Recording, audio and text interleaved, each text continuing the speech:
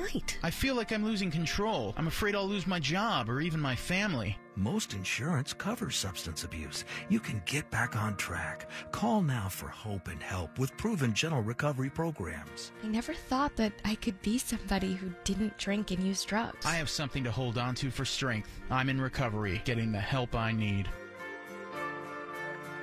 Call 800 379 4799. 800 379 4799. Hi, I'm Joan Lunden with A Place for Mom. Over the years, we've helped thousands of families find senior care, and today's senior living communities have never been better. With amazing amenities like movie theaters, exercise rooms, and swimming pools, public cafes, bars, and bistros, even pet care services. And nobody understands your options like the advisors at A Place for Mom. These are local expert advisors that will partner with you to find the perfect place and determine the right level of care, whether that's just a helping hand or full time memory care. Best of all, it's a free service. Call today. A Place for Mom. You know your family, we know senior living. Together, we'll make the right choice. Call A Place for Mom right now to get our free ebook on financing senior care as well as a free referral for senior living communities in your area. Call 1 800 436 2907. That's 1 800 436 2907. This is Straight Talk, and I'm your host, Brandon Brice. Are we seeing a rise in the opioid crisis? That's been true with alcohol, tobacco, drugs, and you name it. What's different here is we are now facing a very particular type of drug where it's not just an ordinary uh, potent chemical. It's a deadly chemical, and people are mixing fentanyl with opioids, and people are dying. And that's 910 AM Superstation.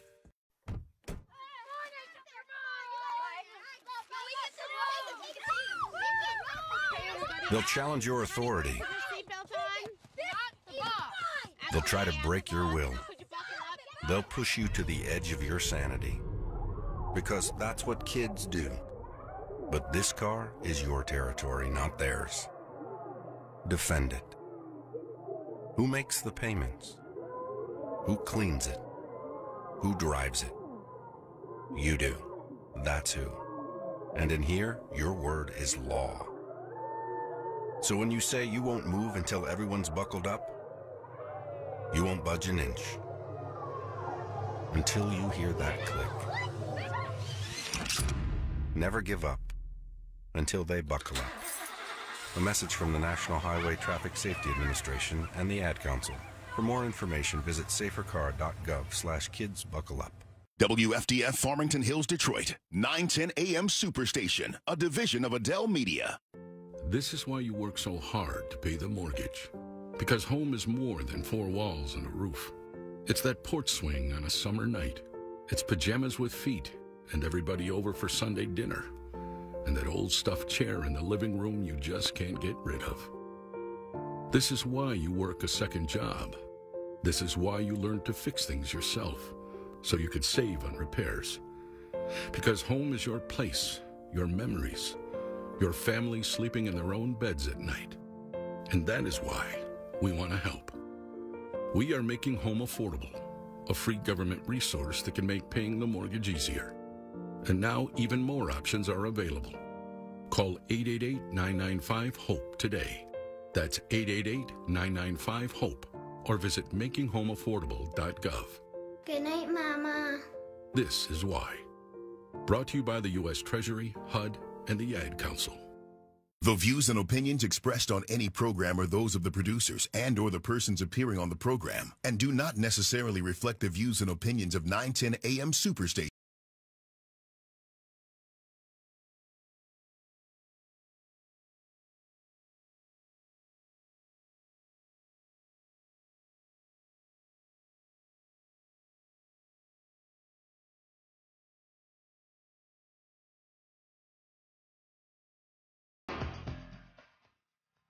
Listen, you got to come see us when you come to New York, VP Biden. I a, will. It's a long way until November. We got more questions. You got more oh. questions, but I tell you, if you have a problem figuring out whether you're for me or Trump, then you ain't black. It don't have nothing to do with Trump. It has to do with the fact I want something for my community. I would love to see Take you. a look at my record, wait, man. wait, I wait, extended wait, the voting rights 25 you- years. I have a record that is second to none. The NAACP has endorsed me every time I've run. The war. I mean, come on. Take a look at the record. You know, I've been critical of you. Um, I, I have a few things I want to talk to you about. This. I know you have. Yeah. You don't know me. No, I don't. That's why I want to get to know you today. I want to get to know you today. Um, I want to talk to you about mostly black stuff. I get overwhelming support from the black leadership, young and old. Every poll People, shows me this is the problem with what we call politics. You heard it. Welcome to another episode of Straight Talk. I'm your host with the most. This is Brandon Brice. I'm the People's Champion. We heard earlier in the show that Joe Biden clearly said that you ain't black. Well, guess what? We've got other people who think otherwise. Joining us, we've got Congressman Kerry Bentivolio. Hello, Brendan. So, Hello, I mean, Brendan. when you, when, I mean, Congressman, you hear Joe Biden, who's president of the United States, talking about if you if you for me, you ain't, and he didn't even say you are, you ain't black. What does that mean? I'm I'm uh, I'm. I'm having trouble hearing you on his phone. Please.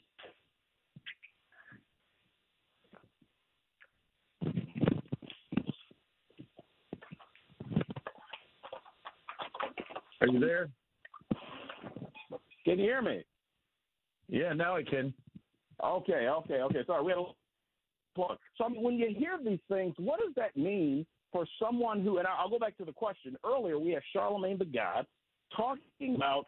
Uh, he was asking uh, Joe Biden, who is clearly a candidate for the president of the United States. He was asking him about, you know, what is the black agenda? And Joe Biden doesn't give an agenda. He says, if you're not, if you don't vote for me, you ain't black. I mean, what does this mean, Congressman? well, you know, uh, I have a little problem with uh, Biden, of course, because I'm on the other side of the aisle, and I represent uh, the Republican Party platform, which is the anti-slavery, the you know uh, freedom uh, Constitution of the United States. I have a real problem with him. He's been in Congress for what? Uh, 30 years he's been in government, more than 30 years, and what's he done? Can we actually uh, point to anything worthwhile that he's done for anybody, not just blacks. You know, um, I uh, got to tell you, I I am a proud member, a former member of the 182nd Field Artillery out of the Olympia Armory in Detroit. I went to Iraq. Where 60 to 70 percent of my unit was black, and uh, we had some good old boys from Alabama and a few other places wanted to put up their Confederate flag in their room. These are guys that, you know, were uh, replacements. They came in to fill the vacancies that we had. And the, my uh, fellow soldiers from the 182nd, God bless every one of them, came to me to settle this because, uh, you know, we're all in this together. And the thing I learned a long time ago at 18 years old in Vietnam is um, the enemy doesn't care the color of your skin, your religion, where you're from, your political affiliations, or your propensity for anything. Um, what they're concerned about is you wear a uniform that says U.S. Army. It was OD green. That's the color we wear. That's the way it works. Con- Con- Congressman, let me ask you this. I mean, right now, you're talking about, you know, this is a guy uh, who wants to be president, and you had Charlemagne the God, as we all know, he's with the Breakfast Club.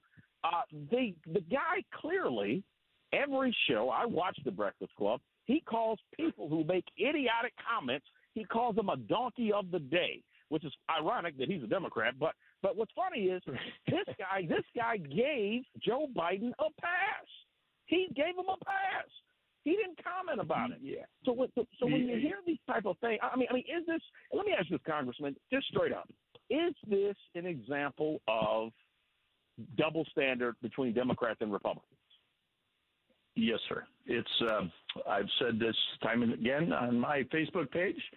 Uh, the biggest pandemic we have in this country is called hypocrisy disease, and it's that's exactly what what we're facing.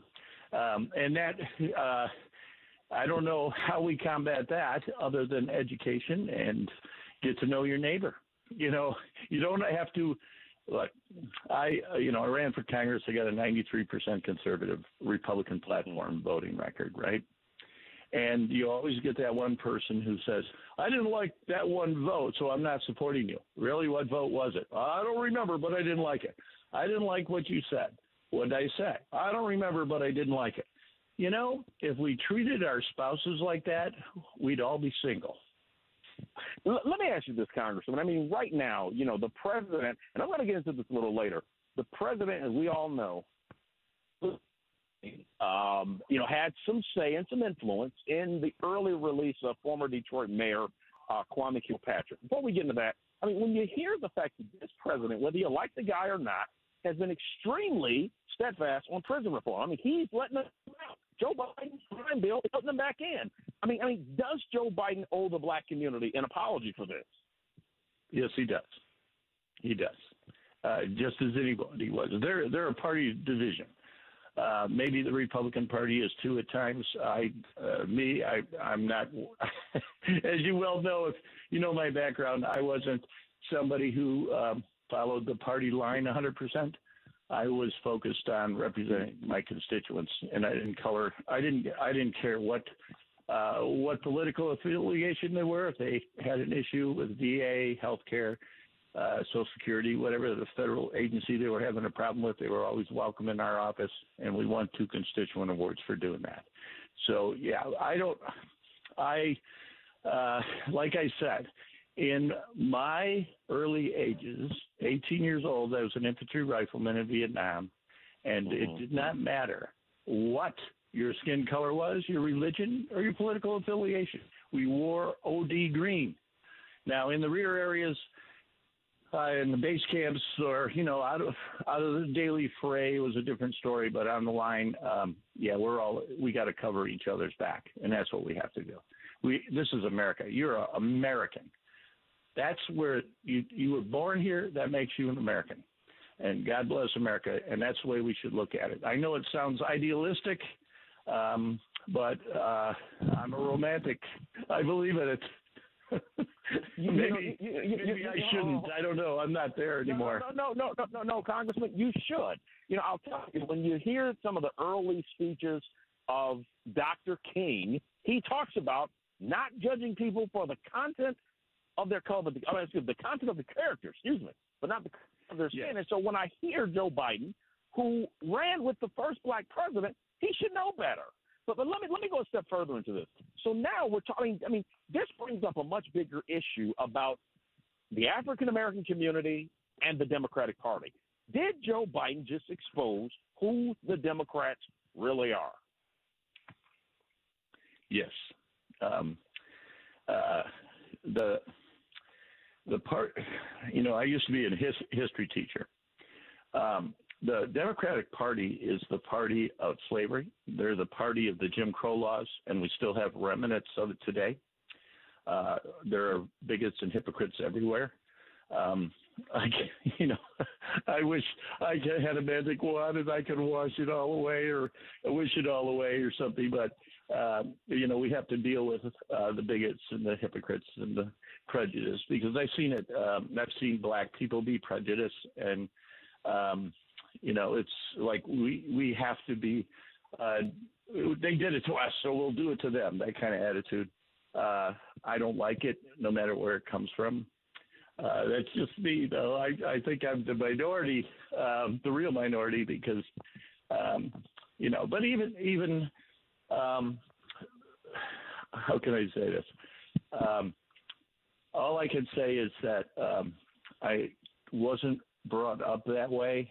Uh, I saw it as a child, the bigotry. Uh, my uh, uncle lived in Highland Park. I don't even think the house is there today, um, but it's um, it was he didn't move out of there until the 19 late 1960s, and um, I had my first, um, if you will, I was from Royal Oak, and we didn't have black people out there, right?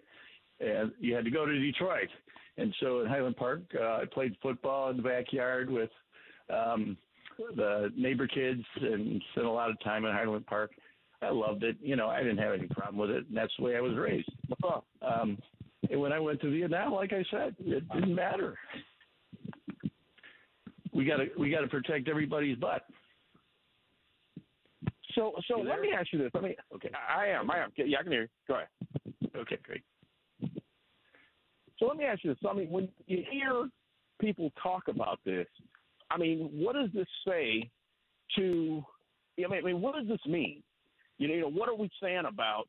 Um, I mean, what are, what are we saying about just the American people? This guy wants to be president, yet he continues to talk about, you know, the issues as if you know black people just are supposed to vote uh, his Democrat. I mean, it's absurd. I want to get into a couple. Yeah. Three one three seven seven eight seven six hundred. This is straight talk. We're talking about Joe Biden's recent comments. Got a couple callers on. I want to get, uh, as always, Mr. Positive on the line. Mr. Positive, uh, what's on your mind? This is straight talk. Where you calling from? Brandon and your guest, thanks for taking my call. I How just, are you? You, How are you, you, buddy? uh, Go ahead. Go ahead. good, my friend.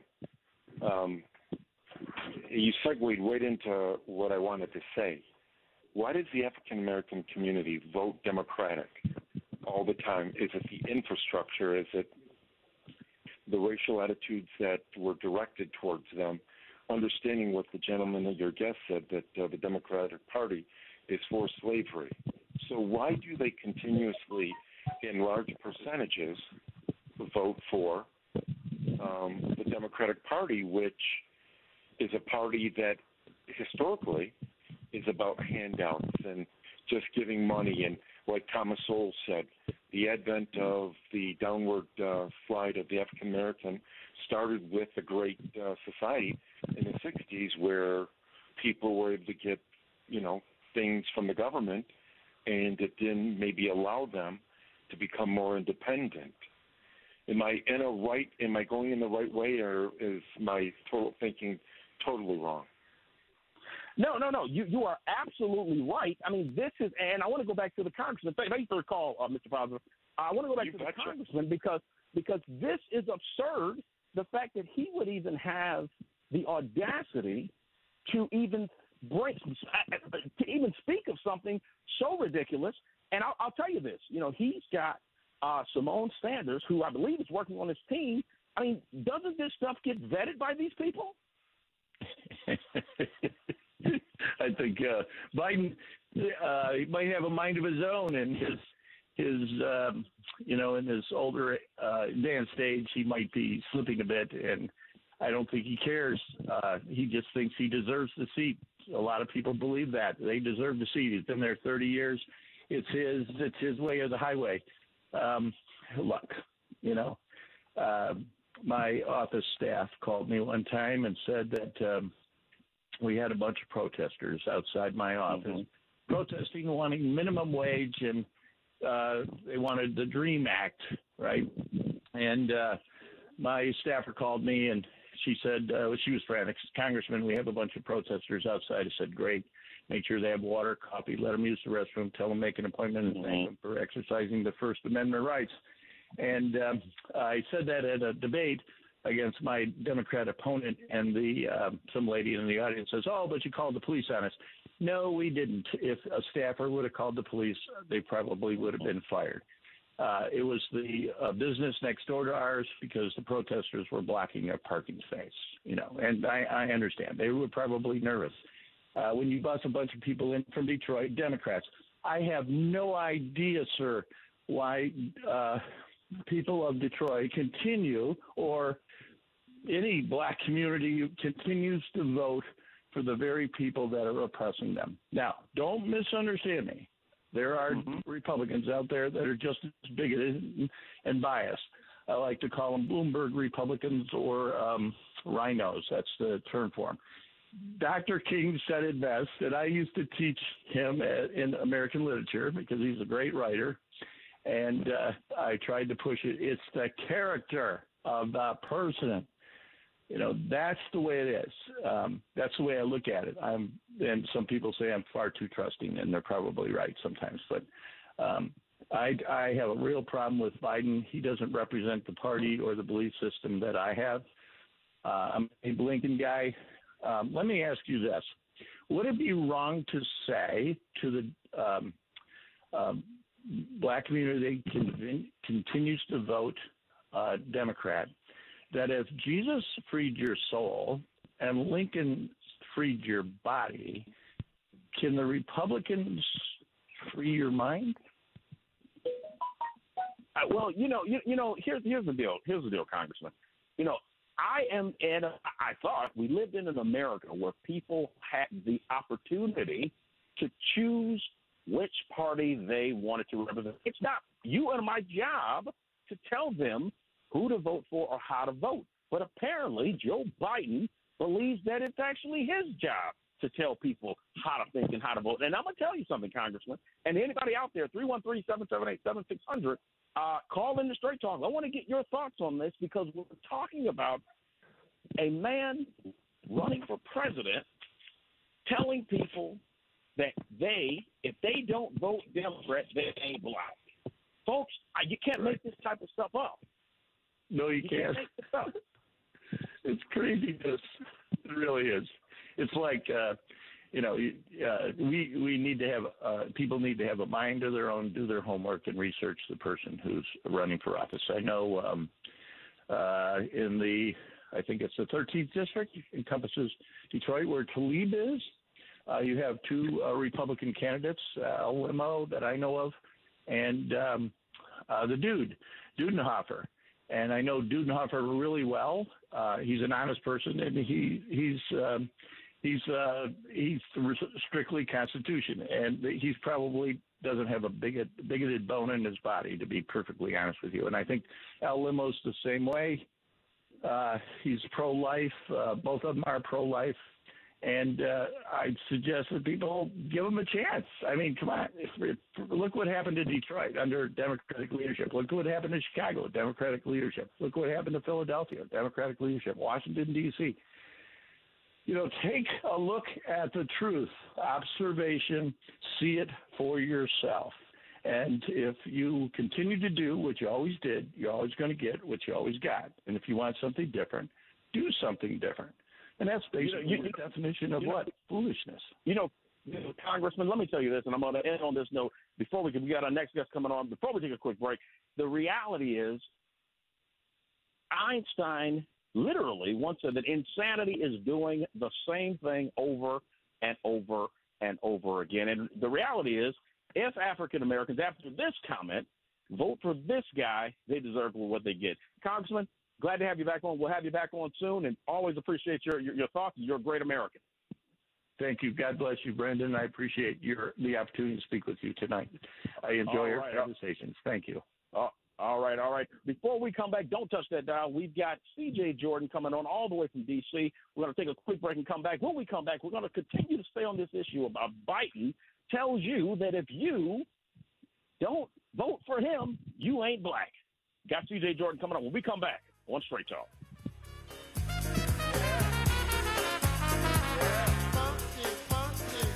Jump to the jam, boogie woogie jam. Brought to you by the Michigan Department of Health and Human Services. Stay home and stay safe. Learn more at michigan.gov slash coronavirus. 40 million. That's the number of free phones still available and the number of how many Americans can still get prescriptions free. Free could be wonderful. That's why I'm still working at 77 years old to pay off my prescriptions. I needed to have a, a prescription filled and I had to leave because I couldn't afford it. Call now and see what's available for you. Free prescriptions. Over 10 million people get prescriptions free, and the program has expanded, so another 40 million can. Free dental. Over 15,000 dentists have provided over $330 million in free dental work. Free cell phones. 40 million free cell phones are still available with free minutes and more. Free cell phone would change my life right now because it is something I cannot afford to get. Medical supplies like back braces, knee braces, and diabetic supplies may be covered too. The free RX Plus hotline has saved callers over $12 million on their prescription costs. These free programs are now available to 40 million more people. Call now. Attention! In July 2018, Bayer announced that it will be halting its sales of Essure. The Essure birth control may break or migrate after insertion, puncturing the fallopian tube, resulting in corrective surgery to remove the device. Thousands of women have reported debilitating health problems to the FDA. In April 2018, the FDA restricted sales of Essure to protect women and require that patients receive risk information. Please call 800 425 9539. We're the hottest station in town. Whatever you need, it's right here on 910 AM Superstation. The most powerful voices in the urban community. I heard on the news about that five year old who found his uncle's gun. The kid didn't know it was loaded. I heard on the news about that 14 year old girl who was bullied online for like a year. She couldn't take it anymore, so she got her dad's gun from his nightstand. I heard on the news about that guy who broke into someone's house, stole a gun from the hall closet. He accidentally shot his cousin in the head. She killed herself. And later, killed the owner of the store he was trying to rob. If you own a gun, you have a full-time responsibility. When you aren't using it, be sure it can't get into the hands of curious children, troubled teenagers, a thief, or anyone else who might misuse it. Your family, friends, and neighbors are all counting on you. Remember, always, lock it up. For more information on firearm storage safety, visit ncpc.org.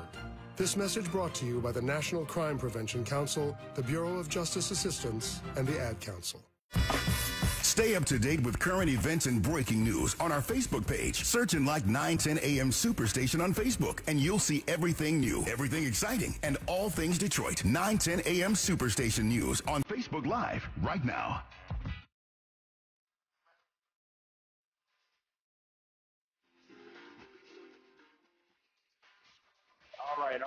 We are back. We were earlier, we were talking about uh, the fact that Joe Biden believes that if you aren't Democrat, then you ain't black. Folks, I didn't say it. Joe Biden said it. Joining us all the way from our nation's capital, Washington, D.C., we've got C.J. Jordan on the line. C.J., welcome to, welcome to Straight Talk. Your first time. Well, thank you for having me. I'm excited to be with you. Thank you. Finally, I'm glad we got you on. So, CJ, earlier we were talking to Congressman Kerry Bentivolio, and we were talking about the fact that Joe Biden believes that if you are not a Democrat or if you don't vote for him, you ain't black. Uh, what does this mean to you, CJ, as, a, as an African American Well, woman?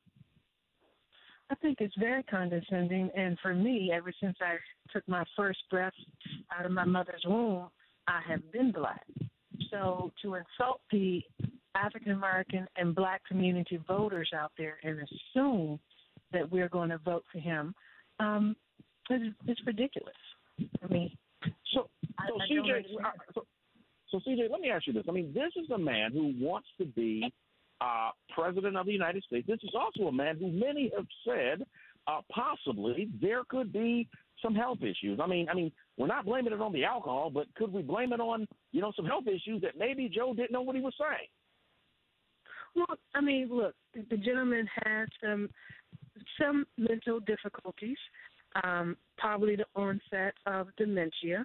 Um, we won't never know because he won't release his health records at the you know at the moment, and there's been no independent you know neurologist to verify um, fact that we know.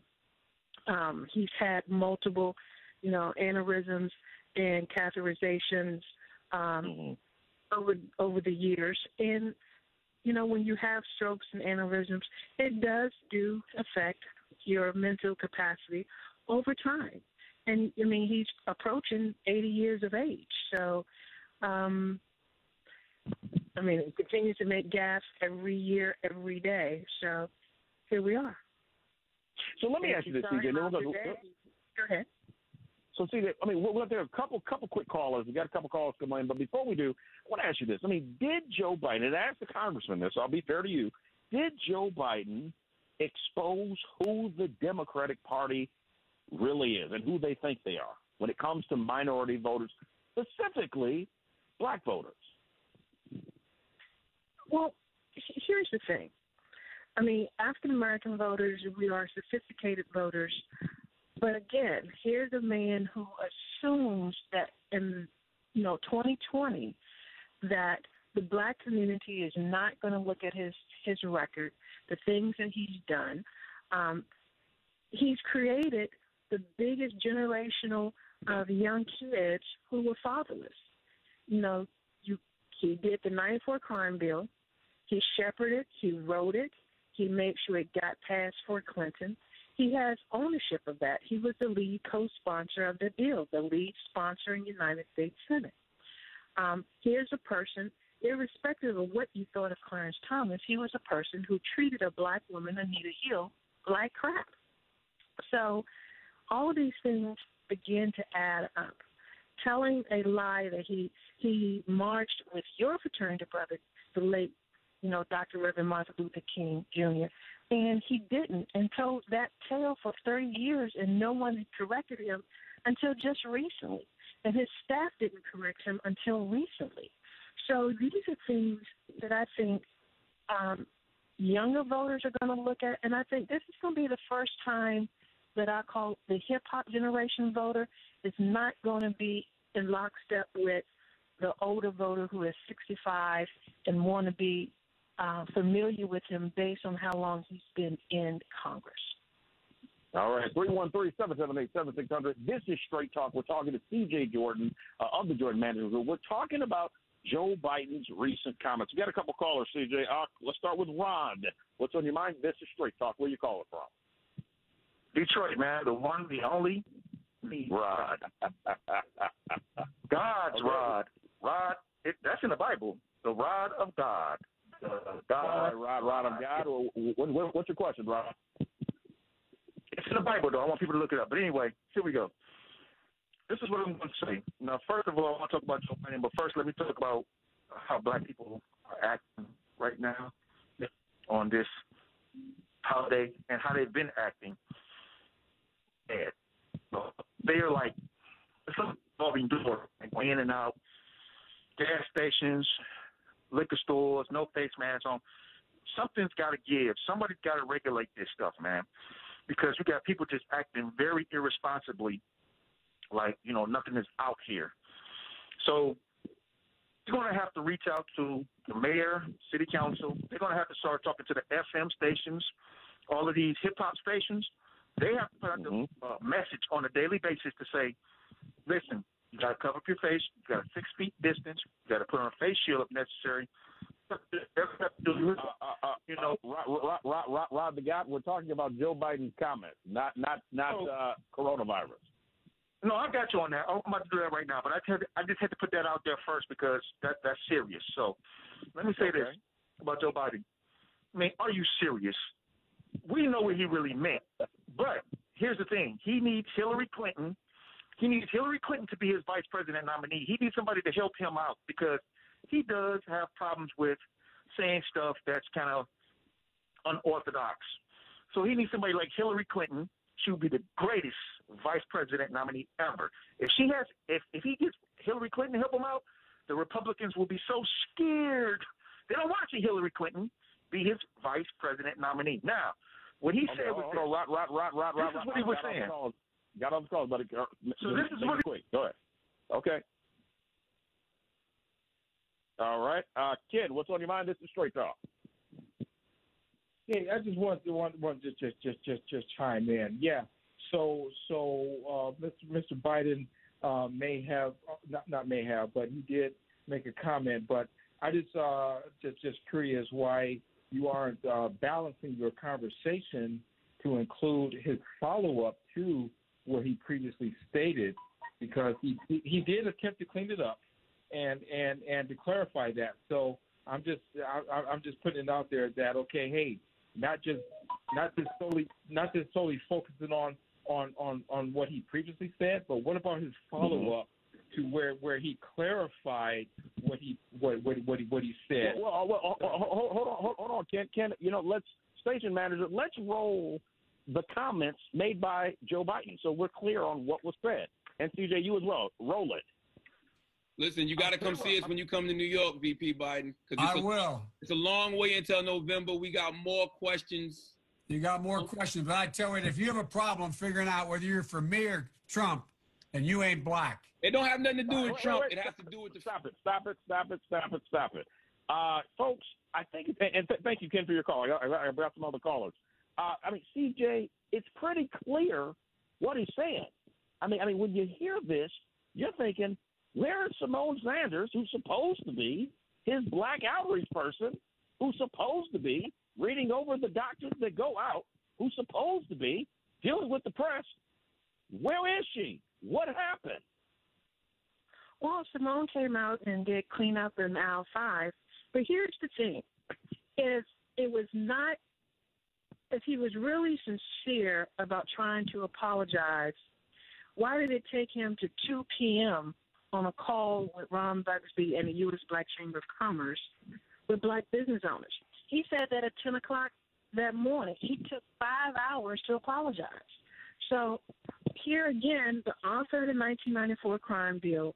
But I remember that following year in 1995 when black men from across America on buses, trains, planes, and automobile came to the Million Man March because of the 1994 crime bill and mass incarceration. Black men wanted to feel whole. And how is this person going to sit out there and tell black men and black women that, hey, if you don't vote for me, or if you're thinking about not voting for Trump, or if you're questioning my motives, you're not black? I, I, I mean, I it's totally.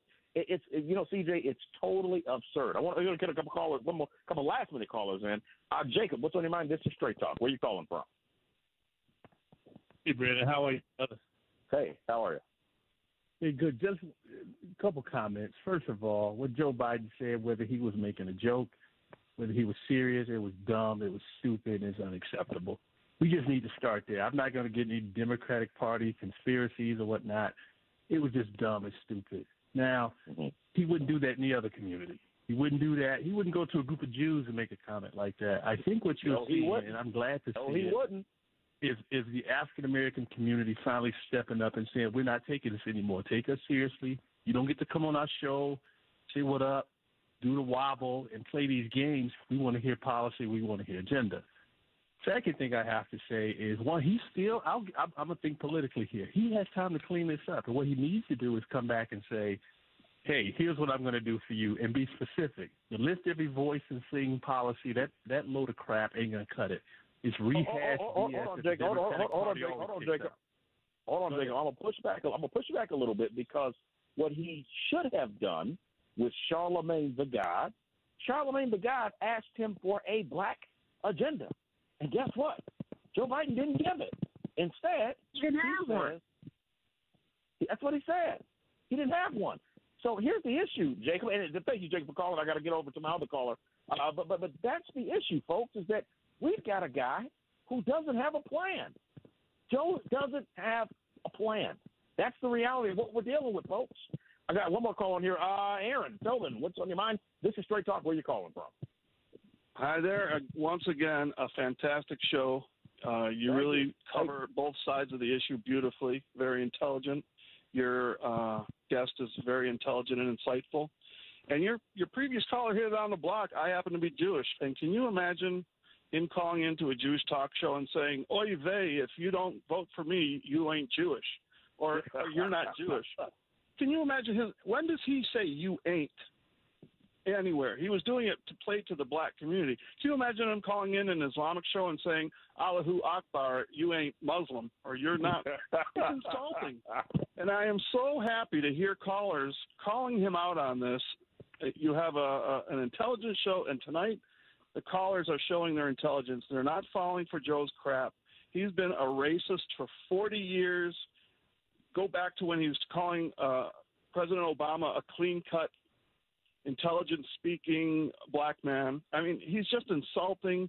He's been in he's been there 40 years. He's got nothing new to offer the black community, the Jewish community, or America. And thank you once again for your show. I'm going to listen. It's fantastic tonight. No, thank you, thank you, CJ. I want to roll back to you. I mean, so right now, CJ, and I want to segue uh, to a different topic, which is relevant. You talked about the '94 crime bill. You talked about blacks incarcerated. You talked about black men not being at home with their families. I want to get into Kwame Kilpatrick. Yes, we're talking about textual sexual. Kwame Kilpatrick, the former mayor of Detroit, is now coming home, folks. What is this? And, and, and here's the catch, CJ.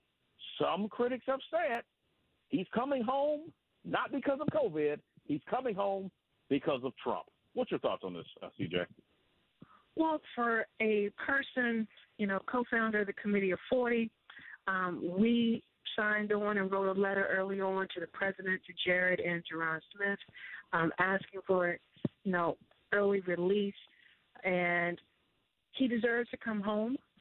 Um, he's done his time. Come home, be uh, continue to be a leader in the community, talk and mentor to young men on what the mistakes that he made in his past. And the Bible tells you everybody believes and deserves a second chance. And this is the president giving him that opportunity to come home, get back with his brotherhood and Alpha Phi Alpha, get back with 100 black men, and re energize the community and mentor some young men and talk about the path going forward and how he can make a difference in his community. And I appreciate the president going against the U.S. attorney in, the, in Michigan and saying, let him come home on compassionate release. So let me ask you this, CJ. I mean, you know, while you're on, I mean, what does this mean for Michigan? I mean, we know that in 2016, uh, the president won Wayne County. For those out there in La La Land who don't know, Wayne County is the largest county in the state of Michigan. It's also the county that the city of Detroit sits in. Uh, he did not win the city of Detroit, but he did win Wayne County. So I mean, what is? I mean, is this a? Could this be a repeat for 2020? Could Trump soon win Michigan again in November? I think the president is going in every state, not just in Michigan, but in every state. And I think the people that he will continue to reach out to to put on the ground and his game team and farm team will, you know, go door to door, street by street, block by block, and we're going to compete, you know, for the African American vote. And if the Democrats, which they always do, they go to the local NAACP, drop a whole bunch of money, and I love Reverend Wendell Anthony and they're going to go out there and say, "Hey, we've done our part because we got a table and we've dumped all of this money into the Freedom Fund banquet." That ain't going to work this year. That dog don't hunt. We're going to compete for the black vote in Michigan, in Wayne County, and we're going to show that guess what, Republicans, we're going to show up, we're going to show out, and we're going to ask for that vote this year. All right, that's CJ Jordan calling all the way from our nation's capital. First time on the show. She did great. CJ, you're a proud American. We got to have you back on soon. Thank you so much. All right, all right. CJ, CJ Jordan. Folks, right now we're talking about the fact that now Kwame Kilpatrick, the infamous mayor of Detroit, some say he should have went away. He got 28 years, but guess what, folks? He's coming home. I want to bring a guy all the way from uh, the our nation's capital again. We got a lot of DC folks calling in tonight. Uh, Deontay Jackson, he is the one of the founders of Black Voices for Trump, uh, and is a leading advocate in conservative politics in America. Deontay, welcome to the show. Welcome to Straight Talk. Brandon, how are you? How are you? Always good to see you, my friend. So Deontay, we were just talking about Trump come uh, uh, Trump coming home. No, uh, Kwame Kilpatrick coming home. I mean, what does this mean for black voters in Michigan. I mean, is this going to move the edge? I mean, I mean, how much of this was uh, the president versus how much was this was the coronavirus? Well, you know, I, it's been it's been a talk for quite some time, um, and I think the coronavirus put a push on it. Um, I was talking to Angela Stanton King, who was someone um, earlier today, who was someone who advocated this with the American King Foundation. Her, Alveda King, worked with Jared Kushner, worked with Ja'Ron Smith, and worked with Nicole Frazier from the White House, and they advocated and pushed for this um, together to make sure that that release um, was done. I know that he had some problems with asthma, um, um, would have put him at risk, high risk with the coronavirus, and then he can be reunited with his family. So I mean, I mean, right now, you know, I mean, where do we go from here? I mean, you've got Kwame Kilpatrick, uh, who did a lot of good things, but some people said that serial killers don't even get 28 years. Yet the mayor of Detroit uh, got 28 years, got a 28 year sentence. Uh, many on the right and the left thought that it was an unfair, unjust sentence. Uh, what's your thoughts on this? I mean, I mean, eh, is this justice being served or is this politics? Um, I think it's just. I mean, it's not. I don't think. I know it's justice being served. One of the things that we have seen through this administration, time and time again, is the president's loyalty to criminal justice reform. And so we understood that in 20 in 2016, one of the biggest problems that people had was with our criminal justice system. Not just people. One of the biggest problems that African Americans had was with our criminal justice system. And so we understand that, and we know that through that, uh, it has benefited so many people who were wrongfully um, sentenced or got a too too high of a sentence, such as um, where I'm from, Illinois, the former governor uh, Robert Burdage. So we got we got a couple callers. The phone lines are blowing up, folks. We want to hear your thoughts. 313-778-7600. This is Straight Talk. We're talking about Texas sexual mayor Kwame Kilpatrick is coming home, folks. He's coming home. We got a caller. We got Dre on the line. What's your what's your question? This is Straight Talk. Where you calling from? comment. This is going to work out good for the neighborhood. She's going to be able to help the neighborhoods out a lot better than um, Michael Duggan. He's going to be able to help clean up the neighborhoods. He's going to be able to help to get the facial recognition to help out individuals clean up the neighborhoods as far as crime and trash. Now, let me talk about Joe Biden. He meant, we know what he meant. He was the vice president to a black man. So that means that he may have said it a harsh type of way, but what he meant was by him being a black uh, the vice president to a black man, he's he's saying that look, if if I am a vice president to a black man, that means that if you, you don't vote for me, you're not black because he was supported by who? A black man. So he may have said he may have said it on the context. But all right, all right, all right. Uh, we another caller in. Thank you, thank you, Dre, for calling in. We've got uh, Esprit. What's on your mind? This is Straight Talk. Yes. Well, thank you for uh, letting me come on Straight Talk. And uh, my comments are kind of light or sarcastic, but uh, they have a, a tinge of uh, seriousness uh, tied to them. First of all, Kwame Kilpatrick is a political criminal. Mm-hmm. Okay, that's already been uh, established. So whether you say he got too much time or uh, not enough time, he has been labeled a political criminal. He has been caught in the act, and he even admits that some of the things in which he's done uh, were totally unlawful. Correct? I agree. I agree. I'm, but but but, but here, here, here, here, hold on, hold on, hold on, hold on, hold on. Here's the catch. The question I want to ask you, and any of you folks out there listening on your radios, on your TVs, I mean, right now, let me ask you this: Was this political, or was this about coronavirus? I mean, do you think this is going to impact uh, Trump's election for the state of Michigan in 2020? Okay, uh, you're talking about uh, the, the motivation for his release. You know, all of it was political. He's been trying to get released for a long time, and uh, and uh, and he was using any and every opportunity uh, to do so. So here's an opportunity for, uh, or as they say, a, a loophole, uh, the coronavirus. And so as a result of that, he used it and was successful.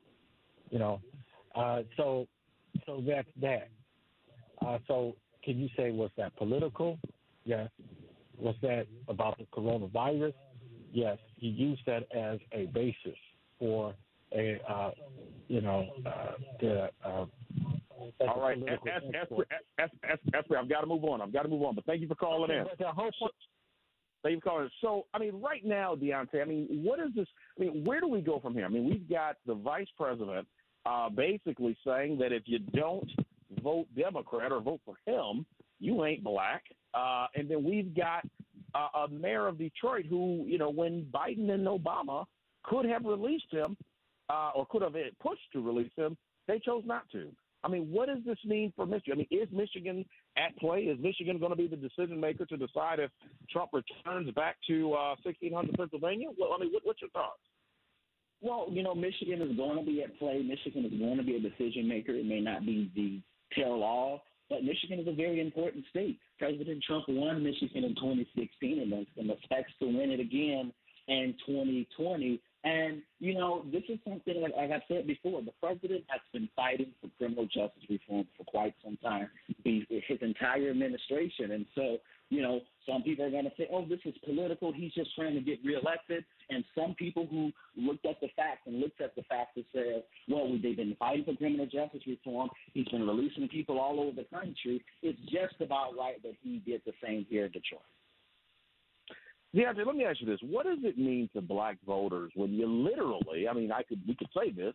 You've got one presidential candidate who has a history of locking black folks up, and then you've got another presidential candidate who, whether you like the guy or not, he's actually releasing more African Americans than probably any administration uh, in previous years. I mean, does that resonate? Does the issue of uh, I mean, I mean, does that resonate with black voters? Well, it should. You know, like I said, in 2016, I remember being on the campaign trail, and I remember hearing what the needs were, and I remember hearing what people said was important to them. And criminal justice reform hit, was at the top of the list. Criminal justice reform was important to the black community. This president has delivered on that. He has delivered on criminal justice reform. He has pardoned people all over the country, and we talk about people such as Alice Marie Johnson, who uh, Rod Blagojevich, you know, and the list goes on and on. Angela Stanton King, who was very instrumental in making and communicating with Ja'Ron um, Smith and Jared Kushner and making sure that uh, Kirkpatrick was released. Let me ask you this. I, I want to segue into a different topic. We talk about uh, the black church, and we talk about how important uh, the black church is I mean, right now, when you hear that the president uh, is literally, uh, you know, pushing to make church an essential service, uh, is this something that resonates also with black voters in addition to prison reform? Well, you know, it should. Um, I think right now there are, you can tell which church, um, and I hate to say that, but you can tell which churches are political and you can tell which churches aren't.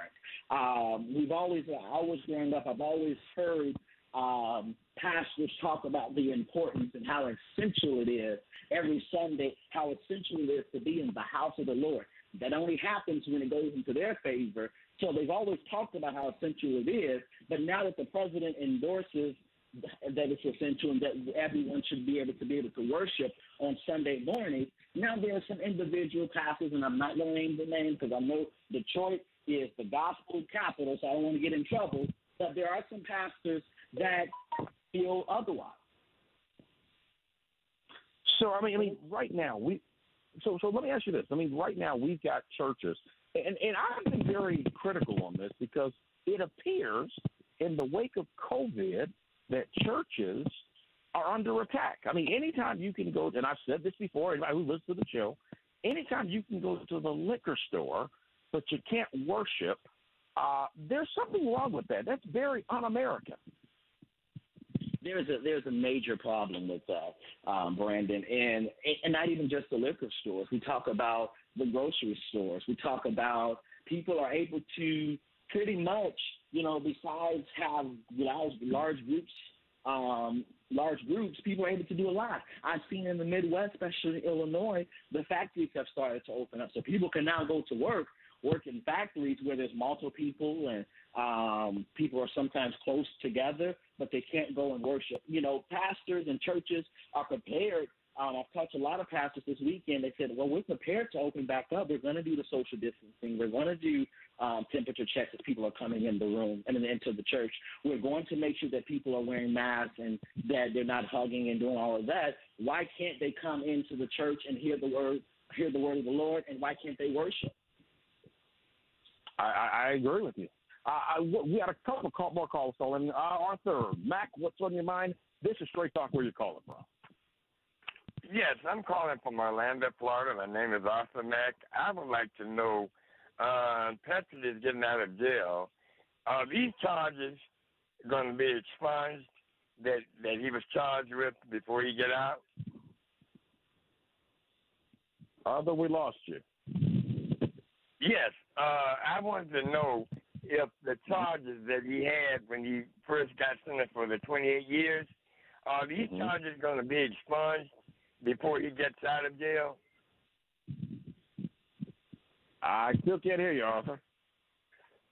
I think he's asking are the charges going to be expunged or commuted? And I believe it's I believe it's a commuted sentence. Mm-hmm. But I'm not sure. Don't quote me on that. And, and let Yeah, me it let, for our, for, hold, hold on, Arthur. For our listeners, Deontay, can you explain what that is? What that means? So um, the expungement pretty much wipes the record clean. Um, the commuted sentence um, takes that and just gives them pretty much re- releasing someone on good with good t- good, uh, good time and call it a compassionate release is what they're calling it. All right, all right. So did did that answer your question, Arthur? Yes, it would. But uh, what I'm saying, if the charges are not expunged, uh, everybody is saying that he's going to do so much for Detroit. He's not going to be able to do anything if these charges are not expunged from his record. All right, all right. Thank you, Arthur. Will Arthur, Arthur, Arthur, I've got other guests calling on. So, so, so I want to get back to you really quick, Deontay, before you go. I mean, right now we we talk about Michigan's at play. Uh, we've got a vice president that is literally making mistakes daily. Uh, we've got a VP, excuse me, we've got a president who's got a challenge with the African American community and specifically women voters. I mean, you know, if you had to piggyback, uh, what would you say Trump needed to do to win the election? And then also, what advice would you give Joe Biden at this point, uh, just kind of following what's going on in the narrative right now? So, who, who, this is, what, what, what, winners and losers? Who would you say? So uh, the thing, the first thing for the president is I want the president to continue to do what he's doing. This president has made it his mission to continue to work for Americans, and so so many people are going to say he's just he's trying to get reelected, but you can't say that with Donald J. Trump. You can say with any other president, but not Donald J. Trump because since 2017 he has been working for the black community. He has put the black agenda at the top of his list. And so I tell the president, continue doing what you're doing, continue to go over the things that we have done through this administration and, and let's and let's highlight those things. For Joe Biden, Joe Biden, stop listening to Symone B. Sanders because Symone B. Sanders does not speak for the black community, and you can't say what she said because I believe that, oh, you ain't black thing, that ain't nobody but Symone. Let me let, let me ask you this before you go. Uh, you know, right now, you know, I, I'm starting to see a lot of 2016 uh, happening all over again. We remember Hillary's conversation, which was ironic. It was with the Breakfast Club where she pulled out some hot sauce. She didn't even have the right hot sauce. She pulled out some hot sauce and said, "Well, I've got my hot sauce and I'm always ready." I mean, these are what I, this is what these people think black people are. They, this is what they and think she they went are. into the black church. And she went into the black church. She said, "I don't feel no ways tired." Um, and she, so she, it, to me, it's like a, it's like a, them making a mockery out of the black community and the black race. It's that this is what they think we are. This is what they think is important to us. That Hillary Clinton thinks that hot sauce is important to us.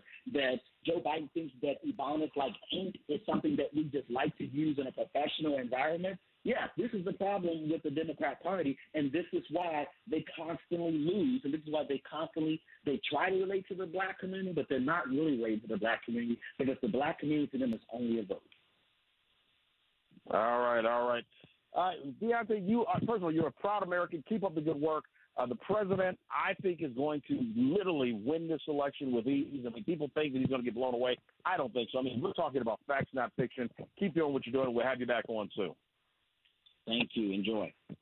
All right, all right. When we come back, I, don't touch that dial. We're going to talk about and getting to the issue of what we call uh, 5G technology, but also we're going to talk about the fact that the federal government now wants to grow. But here's the problem: they want to grow with your money.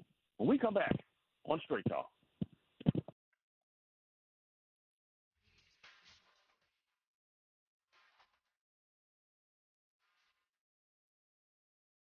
Brought to you by the Michigan Department of Health and Human Services. Do your part to slow the spread of COVID-19 by staying home and staying safe. Learn more at michigan.gov slash coronavirus. The day you lose your strength is the day you lose your independence. Muscle is lost with age, affecting your energy, balance, and mobility. Before you know it, you're depending on others just to get through the day. But you can reverse and prevent muscle loss. Introducing MyoHealth, a revolutionary proven approach to increased muscle strength and function in as little as 30 days. Live life on your terms with more energy and confidence. After a serious health issue put me down, MyoHealth's getting me back up again. I'm doing activities that I haven't done for a long time. It really works. MyoHealth is a safe, natural dietary supplement, the result of decades of research and 24 human clinical studies. You can live stronger at any age with greater strength, mobility, balance, and energy.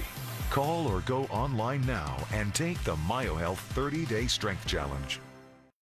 So you've decided to go to college. That's cool. So, pop quiz. Which is a better way to earn your degree?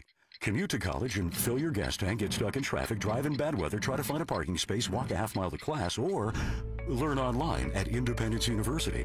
In the park on a bench, on the beach on a towel, or on your couch with your kid, your campus is wherever you want it to be.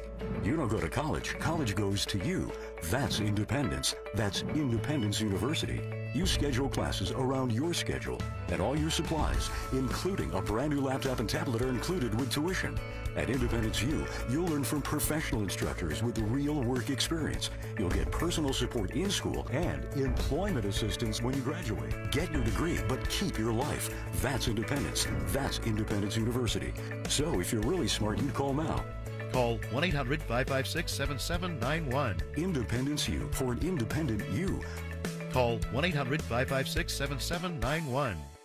Have you been denied credit or hit with high interest rates? A low credit score happens to many of us, and millions of people are victims of incorrect items on their credit reports and don't even know it. That's why you need credit repair now. Our proven process has resulted in past clients seeing on average 11 negative items removed from their credit report and a 40 point increase after the first four months in our program. Call now and request your credit report and credit score for free in minutes. Call 1 800 783 9197. Pull out your smartphones and tablets right now and follow the hottest station in town. That's right. 910 AM Superstation is bringing the conversation to social media. Search us on Facebook, Twitter, Instagram, Snapchat, and Periscope.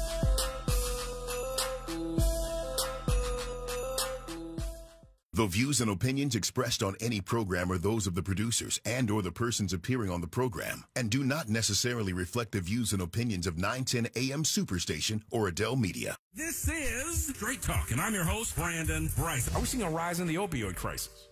That's been true with alcohol, tobacco, drugs, and you name it. What's different here is we are now facing a very particular type of drug where it's not just an ordinary po- potent chemical. It's a deadly chemical, and people are mixing fentanyl with opioids, and people are dying. And that's 910 AM Superstation. This is why you work so hard to pay the mortgage. Because home is more than four walls and a roof. It's that porch swing on a summer night. It's pajamas with feet and everybody over for Sunday dinner. And that old stuffed chair in the living room you just can't get rid of. This is why you work a second job. This is why you learn to fix things yourself, so you could save on repairs. Because home is your place, your memories, your family sleeping in their own beds at night. And that is why we want to help. We are making home affordable, a free government resource that can make paying the mortgage easier. And now even more options are available. Call 888-995-HOPE today. That's 888-995-HOPE or visit makinghomeaffordable.gov. Good night, Mama. This is why. Brought to you by the U.S. Treasury, HUD, and the Ad Council. WFDF Farmington Hills, Detroit. 910 AM Superstation, a division of Adell Media. Dance as we dip in the melodic sea. Rhythm keeps All flowing, right, it drips all right, to all MC. right. We are back. You know, I want to just for those folks who missed our first half of the show, we had an amazing uh, panel, and we got an amazing panel coming on now. We got Scotty Boman. He is a uh, state one of the state directors for the Libertarian Party movement here in Detroit, and he's a rising star in libertarian politics in America, uh, all all over the country. But he's based here in Michigan. But I want to play something for you, Scotty. Before we start, uh, let's station manager, let's roll the clip from earlier from Joe Biden on what he said. Listen, you got to come see us when you come to New York, VP Biden. 'cause it's I a- will. It's a long way until November. We got more questions. You got more questions, but I tell you, if you have a problem figuring out whether you're for me or Trump, and you ain't black. It don't have nothing to do with let's Trump. Stop. Let's stop, let's stop it right there, Scotty. I mean, right now, the fact is, he said if you ain't Democrat and you don't vote for him, you ain't black. Uh, what does that mean to you? I mean, you you represent a, a establishment that's growing in America, and you represent an establishment that's saying, you know, the Democratic Party isn't working for Republicans or Democrats. Choose Libertarian. I mean, what's your thoughts on this, Scotty?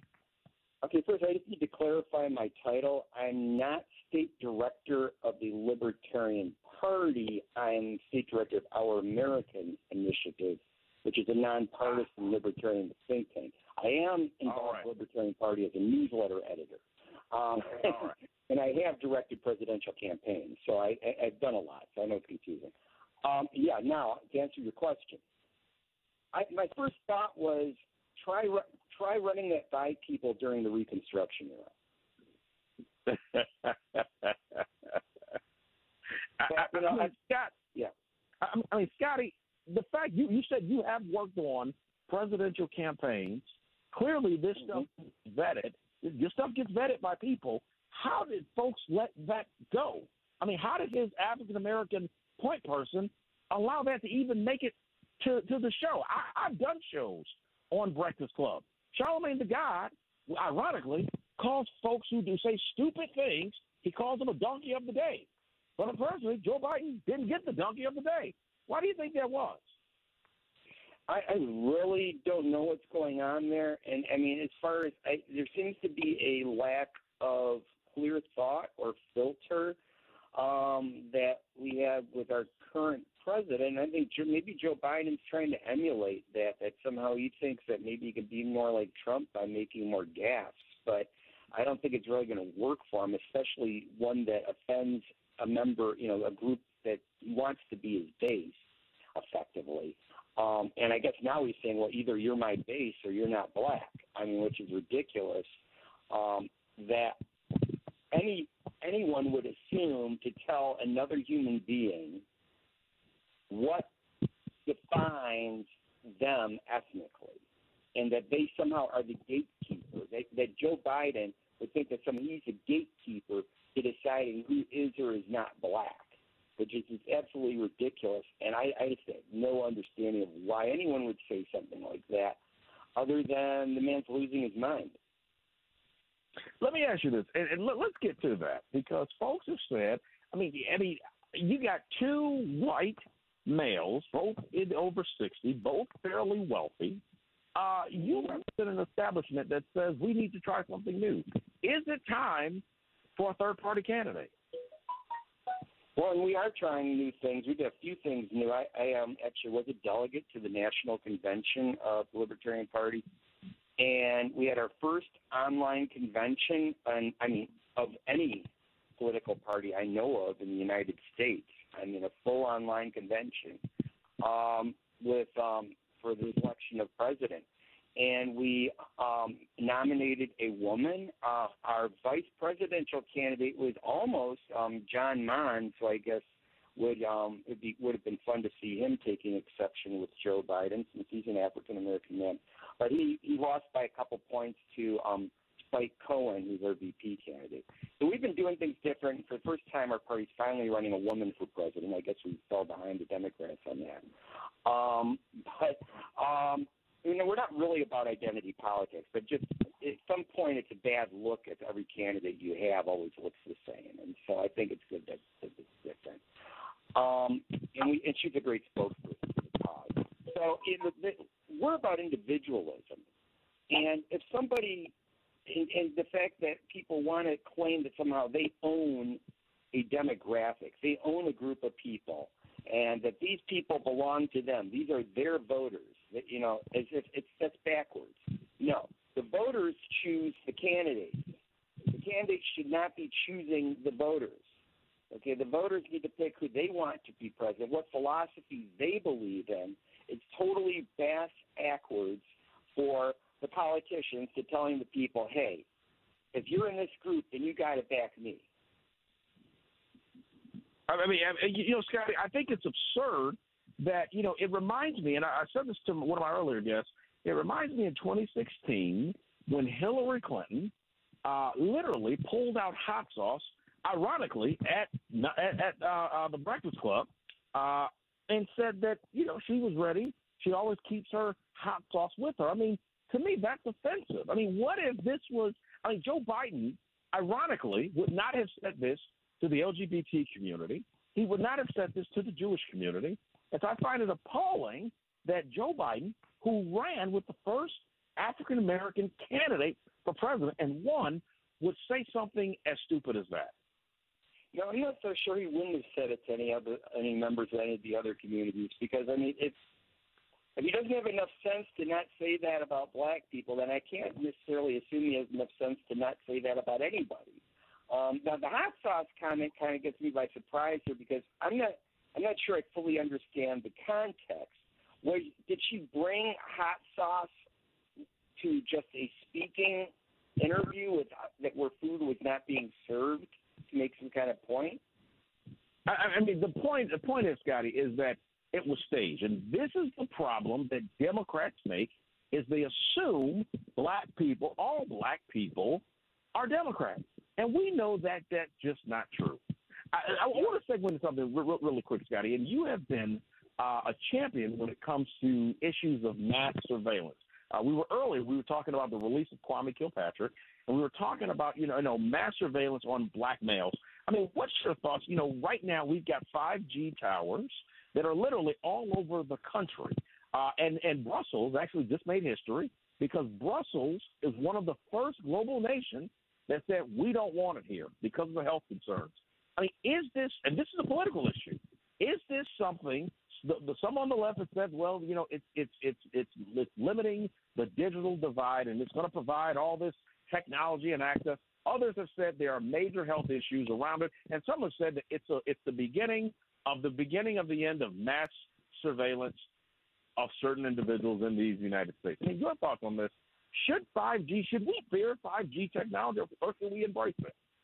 You know, I and I certainly don't think our politicians should be encouraging it, and they are. They're thinking, "Oh, this is the next big thing. We gotta like, you know, make the open open the doors wide to promote this new technology." And it's a bad idea. For one thing, um, yeah, and your, the application of that type of um, that frequency to mass surveillance has been is has been is being used in China, which has a social credit system where based upon your behavior, um, they actually have something similar to a credit score, but just based upon your behavior and like I could say your private life, except there is no such thing under these circumstances.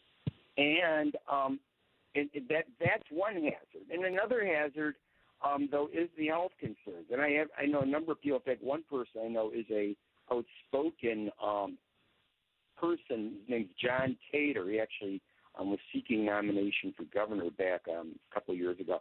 But he um, he's been one of the people I know leading the charge to um, to stop this 5G stuff because apparently there are a lot of um, health risks to um, health that it may increase cancer risk. Um, there's been that that frequency may affect neurological processes because you've got electromagnetic activity in the brain that may be just more susceptible to some frequencies than others. And probably one of the more blatant, just annoying aspects of 5G is apparently the towers need to be exceptionally close together. And by putting them, and I don't, I'm not quite sure why, but it has something to do with the penetrating ability of shorter wavelengths. Does it make it um, through obstacles as well as longer ones? I think that's probably part of it. And um, that they so you'd end up having to build more towers in more places in our communities, and that's like more of an interruption um, where people might have to give up their property using something like eminent domain or something to make more room for more of these towers that there's really no demand for except by you know members kind of of the establishment. But the average But but but, but hold, hold on, hold on. But Scotty, but Scotty, but, but Scotty, I thought the whole point of 5G technology was to make sure that we ended the digital divide in America. Nothing to do with it. People can right now. It, it, there may be a lot of reasons people aren't on the internet, but it isn't because the frequency of your network isn't 5G.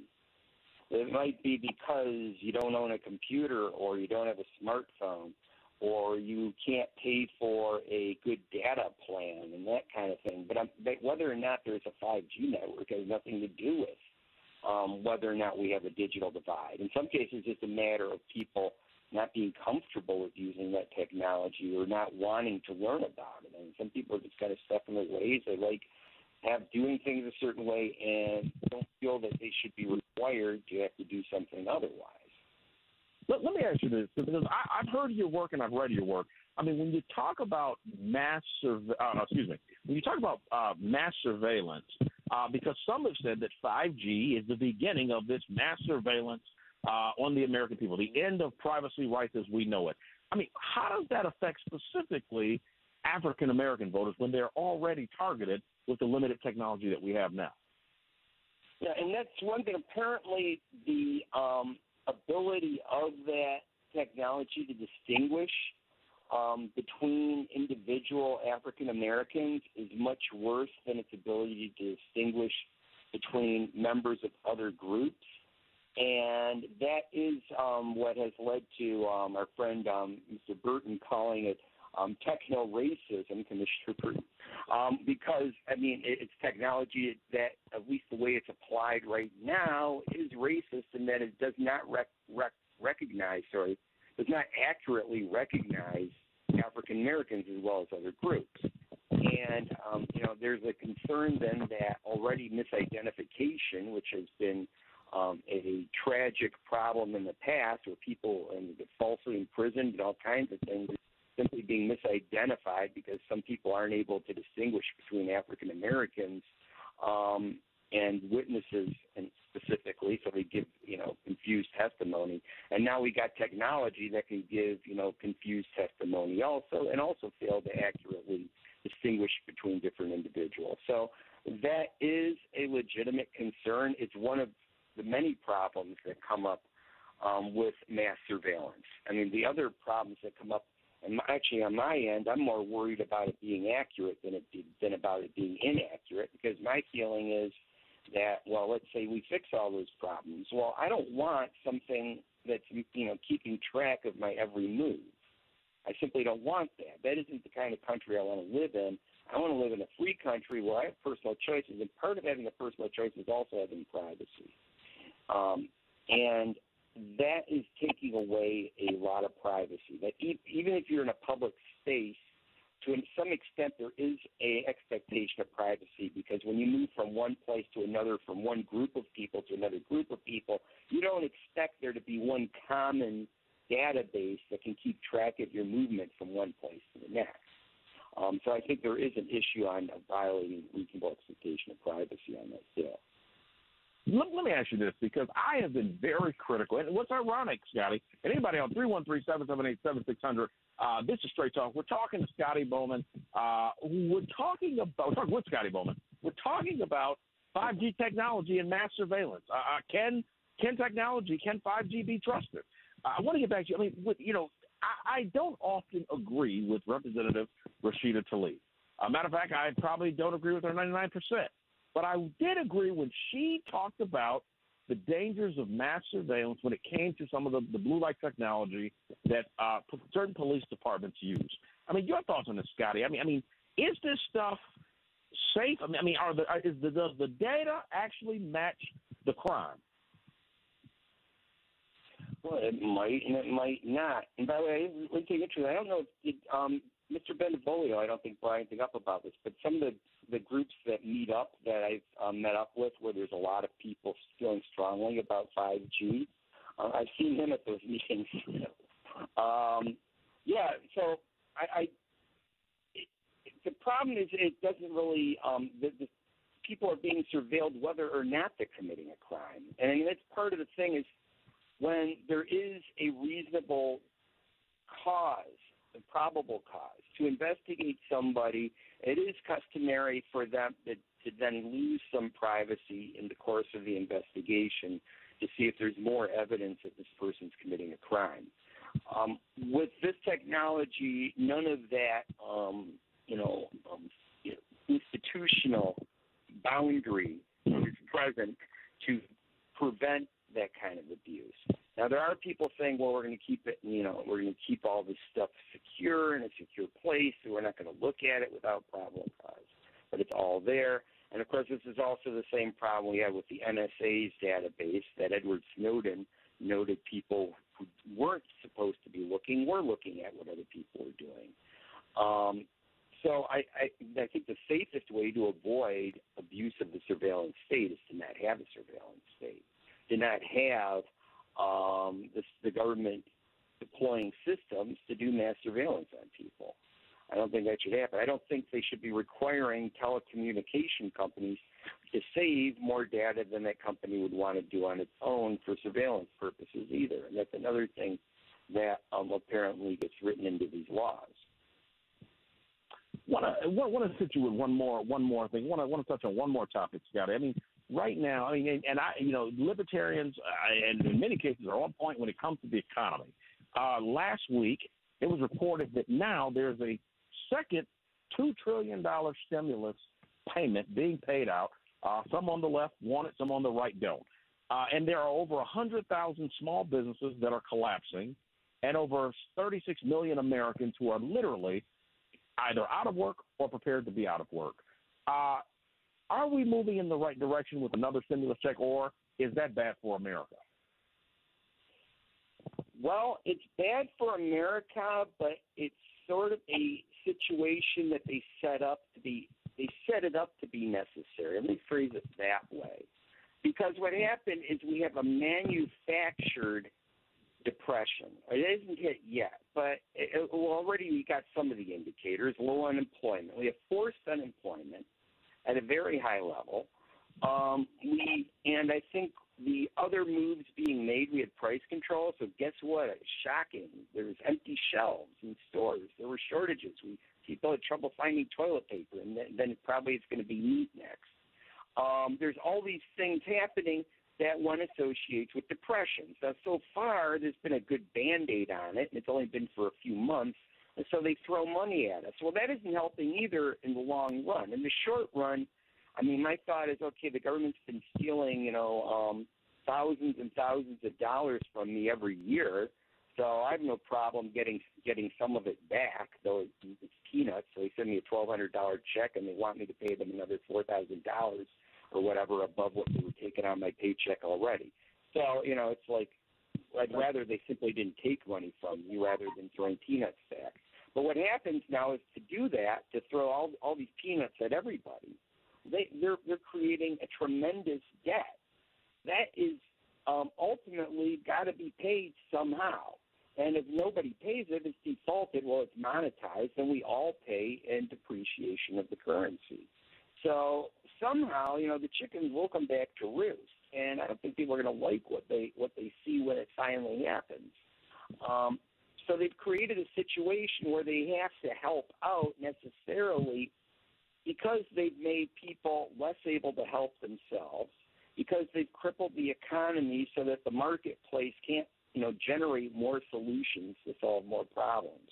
They've taken a top-down approach, and it's actually uh, it's mainly at the state level um, with governors like um, our queen. And I, I say queen. The reason I say that is because a governor does not have the kind of power she's exercising. She's exercising fiat powers. Um, hold, hold, hold, hold on, Scotty. So, I mean, but here's here's the issue that I have. I mean, we're talking about billions of of the Amer- trillions of the American people's money being spent uh, in the name of you know this stimulus and and, and this this this disaster uh, called coronavirus, COVID nineteen, whatever you want to call it. But my issue is when does it stop, Scotty? I mean, when do the payments stop? Well, I think they're probably going to stop right when um, the the economic damage just becomes too much to bear. But I don't know when it's going to hit that. I'm actually surprised how resilient our economy has been to a ridiculous amount of bad practices by the politicians. Um, I mean, the point is they, they've created a desperate situation where people need help from somewhere. So, but, but again, it's not like people should not view the government as a savior because they send them a check or because they're giving um, giving them tests without asking them to pay or anything like that. Because The problem was created by government intervention, and the government has already taken way more money from us than they're throwing back at us. But guess what? That doesn't mean that that money is just sitting there waiting to be given back to us either.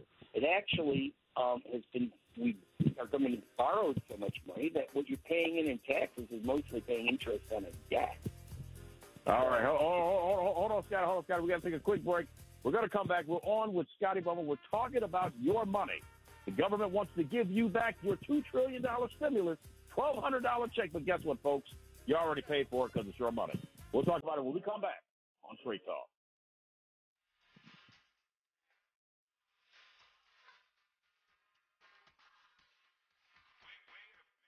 Are you getting the most out of your Medicare plan?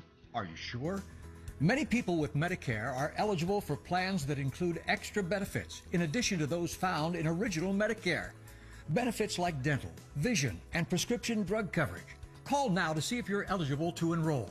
The consultation is free with no obligation to enroll. In addition to hospital and medical coverage, at no extra cost, you could also get coverage for prescription drugs, dental, hearing, vision, and more. In many areas, plans with benefits are available with $0 copays for many services, $0 monthly premiums, or $0 deductibles. That's hospital, medical, prescription drug, dental coverage, and more included in one plan with premiums that may be as low as $0 a month. Call now to see if you're eligible to enroll.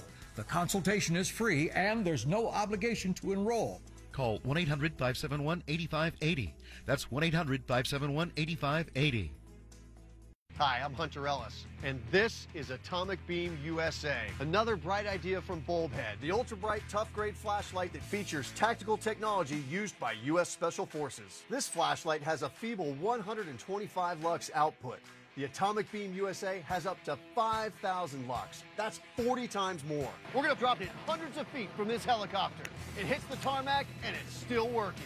That's what I call a tough flashlight. Heavy downpours, mud puddles, even extreme temperatures are no match. You could spend over $100, or the Atomic Beam USA can be yours for just $19.99 with free lifetime guarantee. Order now, you can double it and get a second Atomic Beam USA. Just pay a separate fee, and we'll even ship them to you for free. Atomic Beam USA is just $19.99. Order now. Call 1 800 638 2619 to get your Atomic Beam USA. Call now or go to atomicbeam.com. So call 1 800 638 2619. Deluxe version available. Order now.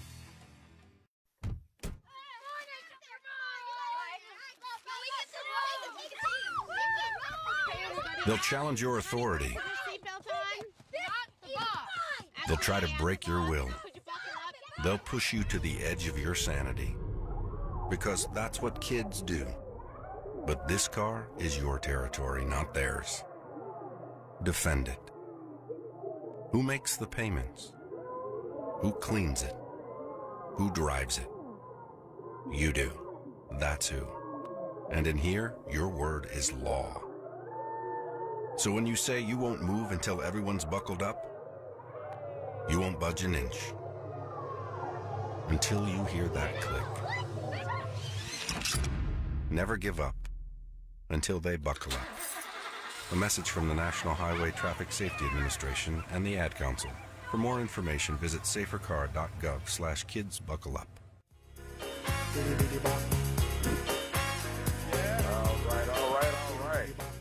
right. We're here with we're still talking to Scotty Boman. Scotty, before we before you go, I just want to ask you. I mean, right now, you know, federal government is Democrats are proposing that uh, there should be a program in the federal government that hires them, those people who have been affected by the unemployment benefits. I mean, you know, when I hear that, Scotty, I automatically think of the government getting too big and growing. I mean, what's your thoughts on this? Is this the right thing to do for those unemployed Americans, or is it the beginning of a bigger government than we've ever seen before? It's probably the beginning of a bigger government than we've ever seen before, which is already what I've been seeing in just the past few months. I mean, not much of this year went by before we saw, um, I mean, pretty much a level of totalitarianism that exceeds what would be common daily life prior to this epidemic, even in like Red China or the USSR back in the day. I mean, the, that the notion that you know that people can't even peaceably assemble, are told they can't travel, are fined a thousand dollars just for you know hanging out at somebody's house or having a party. Um, that that already is a level of tyranny I have yet to see. I mean, it's the worst really invasion on civil liberties since um, the Civil War. The um, and so we have you know that level of um, authoritarianism, and then of course the government, know, the economic aspect comes in as kind of you know riding on the horseback of that. That we have um, all these programs now to rescue people from the deleterious effects of the policies the government instituted, which effectively, you know, put a whole bunch of businesses just on. You just said simply you can't do business. I mean, there's various things that could cause someone to go out of business, but I think what could be more direct than simply saying you can't sell things, you can't provide services, or cause unemployment, as in you can't go to work. Um, so, yeah, they're, then they're turning around and saying, "Oh, we're going to help you. We're going to give you jobs." So they take away jobs, and now they're giving jobs. So yeah, it, it's definitely a shift toward greater government control. I can see a lot of people as um, you know, libertarians, for instance, who I'm, I'm involved with, well, they're talking about, you know, supporting less government. And people are like, oh, but we need socialism. See, socialism saved us. Socialism gave us jobs. Socialism is getting that deposit in my bank account. You know, socialism is keeping people from doing dangerous things.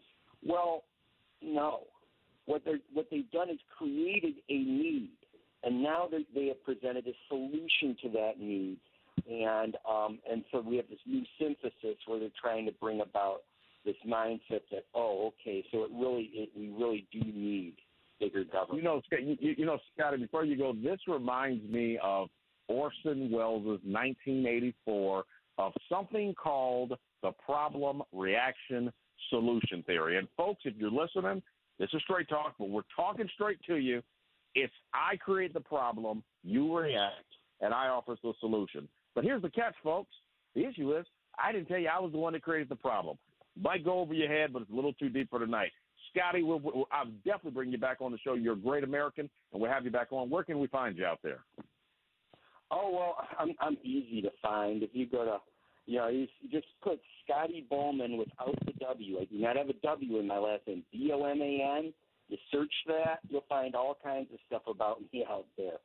Um, got contact forms. And, uh, you could go to actually bomanfordetroit.org for one of my most recent projects in, in the city of Detroit that I'm on. Um, but I'm I'm always available somewhere. I'm actually very accessible. All right, all right, Scotty. We'll have you back on soon, my friend. All right, take care. Uh, all right, all right. Joining us all the way from the Big Apple, New York City, we've got the executive director of Sensibility, uh, Roy Paul. Uh, he's a political strategist and the new executive director of a finance group that teaches young people about financing. But it sounds like we need to teach those folks in Washington how to use and spend their money. Roy, welcome to Straight Talk. Thank you. Good to be with you. So, Roy, let me ask you this. I mean, when you hear, and I just talked to my colleague earlier, when you hear 36 million people out of work, uh, 100,000 jobs that are getting ready to fold, and the fact of $3 trillion of the American people's money slowly coming back to them. What does that mean to you? Does that scare somebody like you who teach people about how to spend their money? Uh, scares the heck out of me because the number of Americans that are out of work reported by the government it's usually a lot less than the actual number of people who are unemployed. And we knew that before this pandemic hit, that there were millions of Americans who operated every day, every year with no budget at all. Half of the country don't have a budget. Uh, and so that's before the pandemic hit. So these are people, when you think of these unemployment numbers, you have to factor in that there's a vast majority of them who literally have no money. They have no savings. They didn't have a budget before this pandemic happened. Uh, and so when you talk about the struggle, it really is real. These are people who are at the food pantry lines. They're struggling to pay the rent for their, their families. Uh, so these really are the hardest hit. The people who have money, the people who had a safety net, they're not struggling. They may be on unemployment because they lost their jobs, but they can still pay their rent. They can still put food in their mouth. But when you count the millions of people who don't have any money for food and for homes, that scares the heck out of me. I, I'm going to play a clip from you. We played it three times already, but you know what, folks? I'm going to play it four times because I want you to hear what your Democratic candidate, Joe Biden, thinks about you. Roll them. Listen, you got to come see us when you come to New York, VP Biden. I a, will. It's a long way until November. We got more questions. You got more questions, but I tell you, if you have a problem figuring out whether you're for me or Trump, and you ain't black. They don't have. All right, let's stop. Let's stop right there. I, I, I, mean, I mean, I mean, I mean, first of all, Roy, you and I have actually done uh, the Breakfast Club in the past, and so it, it's interesting that Charlemagne the God, who I normally agree with, didn't scold Joe Biden for saying this. He gave him a free pass. I mean, what does this mean? I mean, these are the people that when you talk about not being prepared, unfortunately, it's not just white folks, it's black folks too, that are going to be struggling in this new normal. Well, I don't think anybody listening to that interview really believes that Joe Biden is a racist. Okay, now you can say that it was an article, he used the wrong words, he was off the cuff, whatever you want to say. But no one really thinks that he's a racist because he said if you're struggling between me and Donald Trump, you're not black. What I think is happening in this country is that we really have become too politically correct. I don't want to sound like Donald Trump, but we are nitpicking on every single comment that someone makes and say, ah, gotcha, ah, gotcha. That's a sound clip right there. But no one really believes he's a racist. Let me, let me ask you this, Roy. I mean, I mean, Symone Sanders, I, I, I believe, is Joe Biden's point person for African Americans. Uh, this is the third or second uh, mistake, screw up that the vice president has made. I mean, should she be fired for simply not? I mean, I mean, this I hope ran through her office before he did this interview. I mean, she, no, of course, she should be, of course she shouldn't be fired. That's hogwash. Look, when you are employed by a position. He's the, the candidate. Your job, if it is her job, to write his speeches, to give him talking points, tell him what the facts are on an issue. It's not her job to be on standby in the event he makes an off the cuff remark that wasn't prepared beforehand. I mean, Roy, Roy, hold, hold, hold, hold on, hold on, Roy. Hold on, Roy. Hold on, Roy. I've got to push back because you know, and I know that if a Republican they'd be called their, their resignation would be on the table. Well, the difference is if a Republican said it, they would have probably had the intent of being racist. When Joe Biden said it, his intent was not to be racist because of a history. Joe Biden has a Democrat history is not the same as a Republican, whoever that may be. Put Donald Trump in that position. He has an intent of being racist. He has said racist things in the past. If Donald Trump said it, we would assume that he had racist intent. But Joe Biden does not have racist intent because of his background. Symone Sanders should not be held accountable for an off-the-cuff remark that the principal made. That's ridiculous. You know. But, but but wait a minute. But I mean, wait a minute, Roy. I got to push back again because wasn't the '94 crime bill a racist bill against black men in America?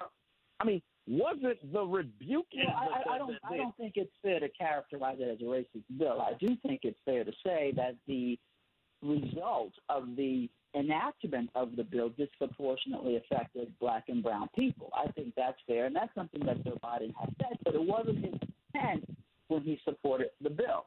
Neither was it the intent of the Clintons when they supported the bill. So you have to look at the intent. It's like stop and frisk. No one says I want to go out there and have black and brown people for you know disrespected by the police but the process is that sometimes the result of a policy leads in a different way that you didn't really uh, envision in the first place. And I think that's what you have here. So to say that because of the crime bill, this comment means he's racist, I think is a false equivalency. Now, let me ask you this, Roy. I mean, you do a lot of work in the community on Wall Street around uh, uh, getting people financial literacy and making them sound about what's going on. Who's the who's the biggest population at risk when it comes to COVID 19 and the finances right now? Well, it, it is young people because young people are if you know, depending on where you are, if you're graduating from college, then you're going to be hit because this will delay your ability to get a job. Think about the job market. A lot of people don't talk about this. The people who are unemployed, half of them won't get their jobs back. And when they do go back to look for work, there's going to be a massive amount of people looking for work. Can you imagine being a recent college graduate trying to find a job after COVID 19? it would be impossible for you to get a job unless you have connections and resources. So I'm really scared for the young people who are coming out trying to get an internship or, or you know first job. It's going to be impossible for them. Older people have that time to gather their resources. If you're retired, then you probably have a pension or Social Security. Those in the middle have a safety net, but it's the young people who are entering this market now that really have no safety net. They're trying to find a job. And if you're in a hot market area, New York City, they're talking about it reopening sometime after the summer, right? So there are parts of the country that are starting to get opened up now. But for the hot hit areas that won't open up past the summer and beyond, where there is no date for opening up right now, I, I don't know how you do it. Let me so let me read something out of New York. Uh, and you and I have talked about uh, you know vice presidential candidates. We talked about Kamala Harris. Just recently, recently she came out and she rebuked the uh, the president for using the term calling coronavirus uh, COVID 19 the Chinese virus. Uh, I mean, what's your thoughts on this? I mean, the bottom line is, Roy, I mean, the virus came out of Wuhan, China. I mean, thus, it's a Chinese virus. I and that's not a knock, but let me ask you this. I mean, I mean, is she right to say that is the president using racial terms uh, when it comes to this virus, or is the president calling calling it what it is. It's a virus that came out of China. Your thoughts on that? So I think that it goes back to the intent. Look, the, the CDC and other health organizations labeled this COVID 19 for a reason because they did not want it to disproportionately affect people from China or Asian Americans who are being targeted by people who say, You're the reason for this virus, or Asian American, go back home, or whatever. So I think that if the president's intent was to shed light on where it comes from, he can say that by saying COVID 19 came from China. He can say that, and everyone would agree with him because that's a fact. But when you say it's the Chinese virus, he's specifically saying that because he wants people to equate the virus with Chinese Americans or China. It's the same thing. And that's where the intent leads me to believe that he does not want people to hold fast to the truth that this did come from China. No one's disputing that it came from China. But when he wants to deflect attention from the administration's response to COVID 19 and say, well, the Chinese are to blame, the Chinese are to blame, he can't get that out of his vocabulary. The Chinese are to blame. We could have stopped it in China, he keeps saying. We could have stopped. So, so that so is irrelevant. So, we're, so we're, let me, blaming oh, oh, oh. Trump for the virus, but we are blaming his response to it. So, Roy, let me ask you this: Who is to, is the Chinese government to blame for the rise of this virulent disease that has literally attacked the entire globe. It came out of Wuhan. I mean, is the and Chinese that's, government that's not in right? dispute? That's not in dispute. What's in dispute is him labeling it the Chinese virus. Why didn't the WHO, the CDC, why aren't they calling it the Chinese virus? Do you know why? Why? Do you know why? They're, they're not calling it that because they have noted that if you label something based on an ethnicity, China, Chinese, that's an ethnicity, that it will disproportionately affect people who will be harassed by it being labeled the Chinese mm-hmm. virus. That's why they don't use that term. It has never been designated as the correct term for describing this virus. It is COVID 19. And that's what the president should refer it as, and he knows that, but he purposely is diverting attention for people to say it's the Chinese virus, it comes from China, because she's trying to distract some people and say, you know, we don't like what's going on, so let's blame it on Chinese Americans. It's COVID 19, and he can get around it by continuing to say COVID 19 started in China. No one disputes that. It originated in Wuhan. No one disputes that, but it's not called the Chinese virus.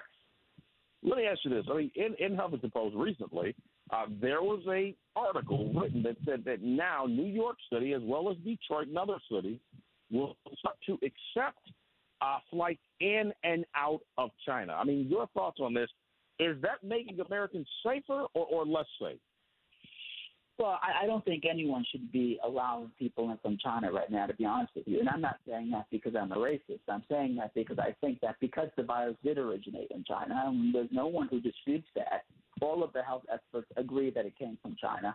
We have to make sure that if we import people from that area, that it's clear. Right? We have to make sure But that it's but, safe, hold, hold, sanitized hold, but, but, but Roy, but Roy, you're, now you're admitting that it's the Chinese virus. If you're saying No, no, that you I'm don't want to be around Chinese no, folks, it's a I'm Chinese virus. No, no, no, no. I'm admitting that it came from China. I, I never disputed that it came from China. Everything I've read, everything suggests that it came from China. What I'm disputing is labeling it the Chinese virus, and I do think that before we start importing people from China, especially from Wuhan, we should make sure that the virus has been eradicated. They've done that in other places, New Zealand. They've eradicated the virus. So when we start seeing a dip in the number of people infected and death, then I think we should revisit it. But right now it's too hot. Right now we shouldn't be allowing people in. Not because I'm a racist and I don't like Chinese people, but because I think that it's important that we make sure that we eradicate the virus from coming into the United States. So let me ask you this. I mean, I mean, right now, you know, we talked about Kamala Harris and, and her, uh, uh, uh, you know, rebuking the president for his comments. I mean, I mean, do you think that she is at the top of the ticket for becoming Joe Biden's running mate, or who would you say is at the bottom and who is at the top of, of that list at this point? Well, I think whoever he picks needs to be someone from a swing state. Don't know who he's going to pick. I don't have a dog in this fight. I don't know any of them, but I think that it should be someone from a state that we desperately need to win. Uh, he's already committed himself to a woman, and you know that's his prerogative. Uh, but whoever it is, uh, black, white, you name it, should come from a swing state, in my opinion.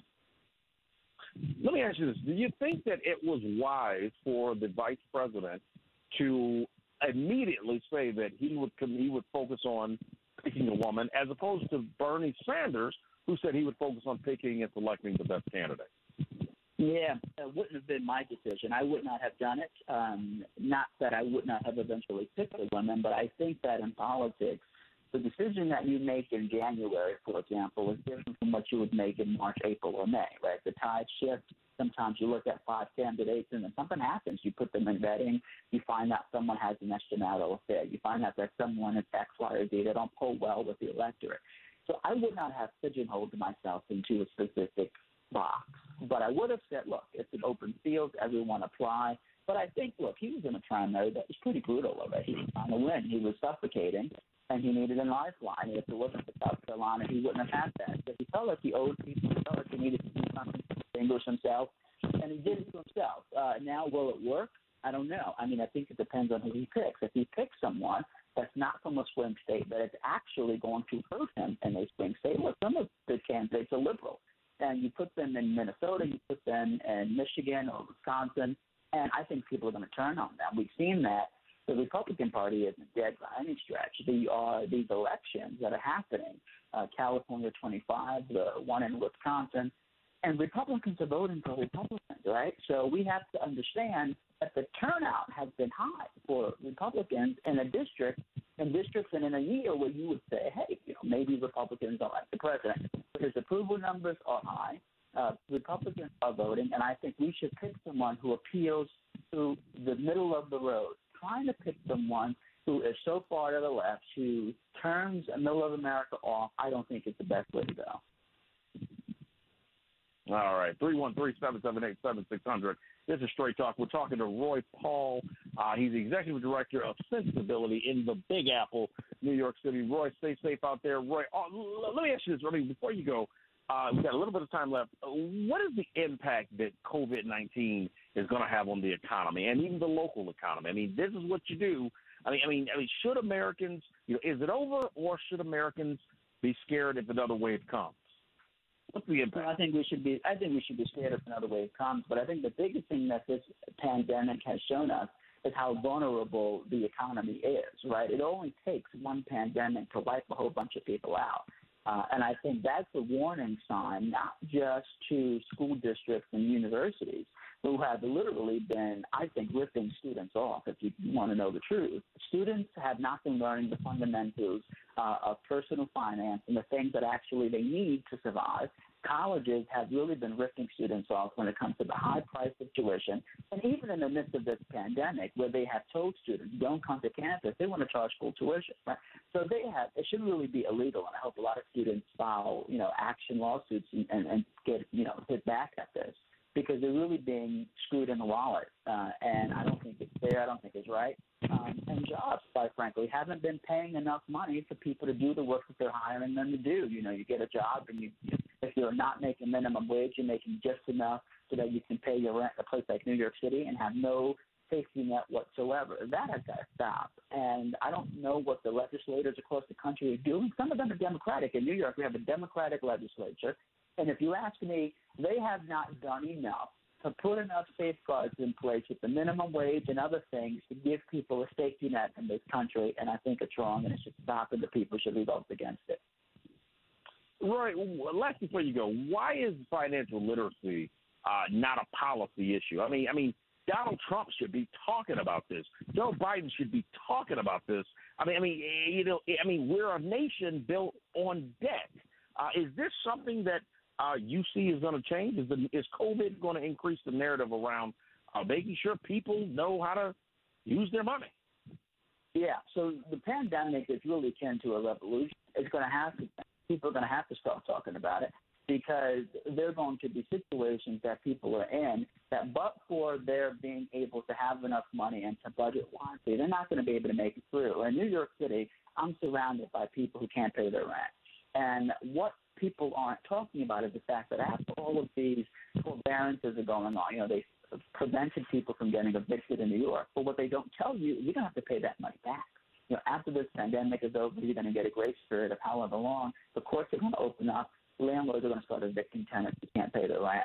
So if you don't have money, if you're not saving, if you're not budgeting, you really are not going to be able to work. The only lifeline you have is a payment plan because you're not going to be able to pay back ten thousand plus dollars when you have no money. You're going to have to go to your landlord and say, look, I'm going to have to pay you back X amount of dollars every month over time so that I can pay you back. And you need a budget, you need a plan. And people are going to get wise to the fact that if you don't teach people how to open up a calculator, I don't care if you don't do arithmetic by hand, but open up a calculator, add, subtract, and start clicking those buttons, you're not going to be able to make it. All right. That is Roy Paul, Executive Director of Sensibility in the Big Apple, New York City. Roy, we got to bring you back on. You're a great American. Where can we find you? Um, well, I try not to be found, to be honest with you. I try to stay off the grid. but if you really want to find me, you can go on social media, Google me, and uh, to the internet. You'll find me very easily. All right, all right. Roy, we'll have you back on soon, my friend. Stay safe out there in, in New York City. Adios. All right, all right. All right. So before we go, I mean, I just want to just have a conversation with folks out there who are listening, whether you're in, you know, Detroit to Houston or, or, or New York to, to LA. We're talking about the fact that, folks, we've got a tale of two issues. We've got one guy that people can't stand, but the reality is, before COVID, the economy was much better. Matter of fact, much better than we've seen in probably 20 years. We've got prison and reform that is literally allowing and setting people free. We've got an economy that is airtight. We've got uh, America is much safer now than it has been before because we're taking the fight to the enemy. And then we've got another guy who simply believes that if you ain't voting Democrat, you ain't black. Folks, you can't make this stuff up. And I'm not telling you to take sides. I'm telling you the fact that we've got a problem in this country. The problem is we've got an establishment, not going to get into partisanship, we've got a certain element in the left that believes that black people are owned by the DNC. I mean, you heard it. The leader, the second most powerful person in the United States, said that if you don't vote for me, you ain't black. This is a much deeper root. You know, one of my callers talked about the fact that they said that, you know, would this would Joe Biden have said this in another setting? Probably not. You know why? Because there's an expectation.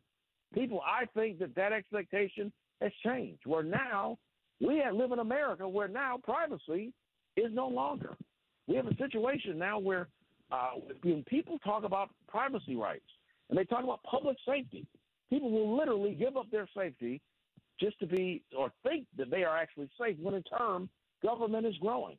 And the reality is government is not growing for you, they're going to control you. That's what we're dealing with, folks. We're going to continue on this topic in the next couple of weeks. But as I say to you, stay strong and stay blessed out there. And stay tuned because this is Straight Talk where we have facts, not fiction. We're going to tune out. And n- until next time, keep it sexy and keep it going. And we're going to have, we got a great show actually next week. We're going to get into the issue going back into Joe Biden. Uh, what is he going to say next? We don't know. But stay tuned. We'll come back. And like I said, next Monday, 9 p.m. Eastern Standard Time, the People's Champ. I'm here, Brandon Brice. We'll come back next time on Straight Talk. Good night.